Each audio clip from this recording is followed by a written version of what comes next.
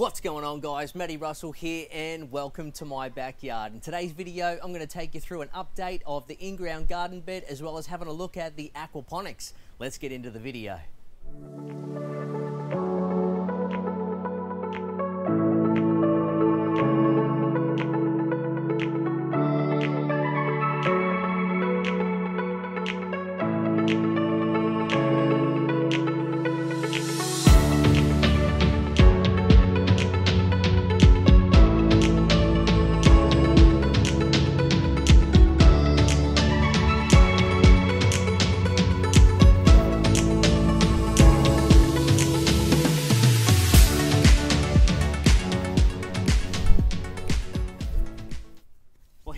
In the in-ground garden and as you can see there's a whole bunch of nutgrass that I've been pulling out of the garden beds here. It's literally taking over and has grown quite prolifically uh, this season.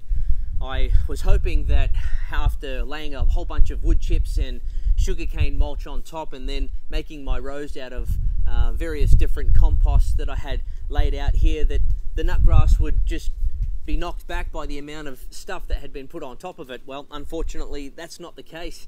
And it is shooting through all over the place. Every day I'm out here in the garden pulling weeds, and I guess that's part and parcel of growing food in the ground.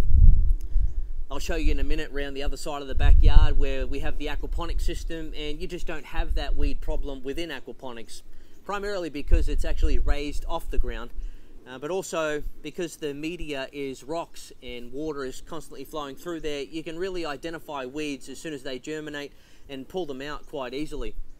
In as much as we've really been struggling with this garden bed this season with the nutgrass and the invasive weeds that are growing in here, uh, we've only got about six weeks of this season, fall, uh, here in autumn in Australia.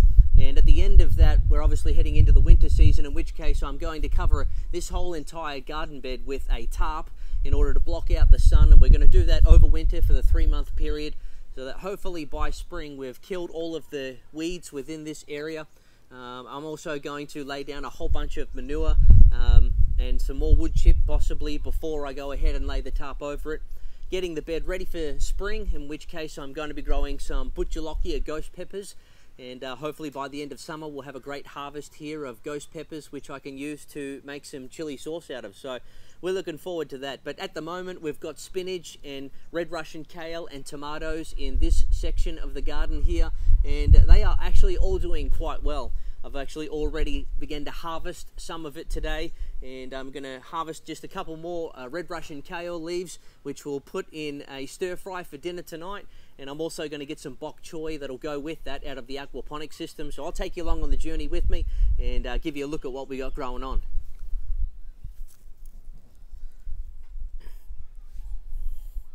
Well, we got some great looking spinach here, guys, and as you can see, it's that good that the bugs and the caterpillars have already gotten to it. So I have already harvested a bunch of leaves off of these plants here, but we're also going to take a couple more. I'm not growing for bugs, I'm growing for us. Food for the family, grown in your own backyard. Doesn't get much better than this, does it, guys? Let's get some red Russian kale. Red Russian kale is doing absolutely phenomenal and uh, I'm going to harvest just a couple more leaves from a few of these plants here to go with the leaves that I had already harvested earlier. Again, we got some bugs, but I don't mind. We're going to give them a good wash before we stir fry them, and I'm going to get to these leaves before the bugs do. And then perhaps just this leaf here Beautiful. Tomato plants over the back there doing quite well and as you can see there are some clusters of flowers coming through already. These are uh, cherry tomato varieties and can't wait to get a bountiful harvest of these in the next few weeks. As you can see there, nice little clusters beginning to form. Happy days. Now we've got some silver beet here and I'm just going to leave that in the ground for now and let these leaves get a little bit bigger before we harvest them. Behind me here we have the aquaponic system and the plants and the vegetables in the aquaponic system are absolutely going gangbusters. So let me turn the camera around and give you a look. Here guys we have some snow peas and they are just coming along really nicely. I'm actually hoping that they can grow down along the cyclone fencing here, but I'm not sure. They have a tendency to want to grow up, not down, so we'll see how they go. I know eventually they're going to get too heavy that they will fall down, and hopefully from there they begin to make their way down to the ground. I'm fairly confident that's what's going to happen. But check out these lettuce starting to get a good solid head on that there. Got a number of different varieties here, some loose leaf, some loose leaf lettuce here. And these lettuce are just doing absolutely amazing in the system here. As you can see absolutely beautiful. In this bed here we have some broccoli in the front row here and cauliflower up the back. Still a few weeks away from even beginning to produce heads on those but patience is always the game here look at this bok choy this bok choy is absolutely beautiful just coming along fantastically couldn't be more happier with that. Again, we have some damage from caterpillars, so I'm going to get in here today and harvest quite a bit of this to go with dinner tonight, stir fry. Now we do have a little bit of a yellowing on the leaves here in just these couple, and as you can see, this bed here is quite full of not only the bok choy, but also tomato plants over the back there. And so in a system this big with the limited amount of fish and the size of the fish that we have in the system at the moment. These guys in here in the aquaponics system are actually only about 160 to 180 grams and so they're at least going to get twice if not three to four times the size of what they are in this system, in which case they'll be producing a lot more waste, a lot more ammonia, which would be converted to nitrites and nitrates for plant food. But at the moment, we've just got probably a little bit too many vegetables growing in this system. And as you can see with the yellowing of these leaves, it's an indicator that they're not quite getting enough nutrients. So I'm gonna go ahead and add some seaweed solution mixed with some fish emulsion just to supplement the system a little bit.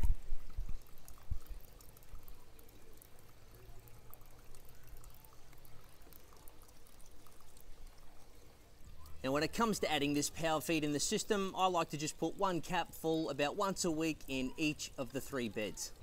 But let's go ahead and harvest some of these leaves from the bok choy. Come in here and break that off.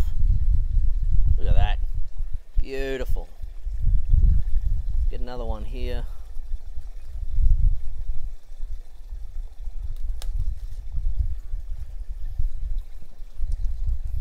Just look at the size of those leaves. They're going to be absolutely beautiful in a stir fry tonight.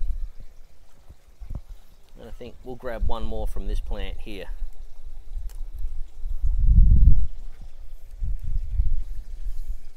Fantastic.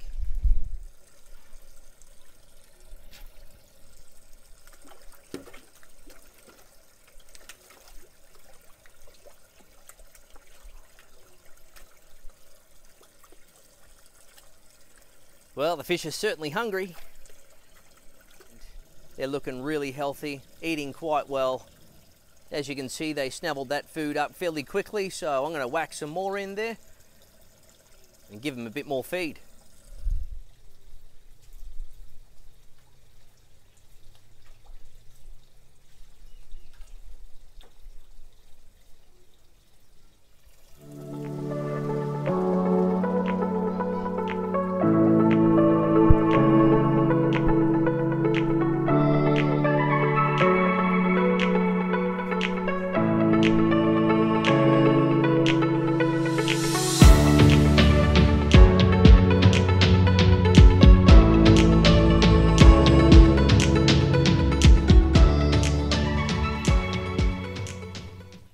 Guys, there you have it. There's an update of my in-ground garden bed as well as my aquaponic system. I hope you enjoyed the video. If you did, why don't you hit that like button, subscribe to the channel, hit the bell notification so you can stay updated when the next video goes live and we will catch you in that one.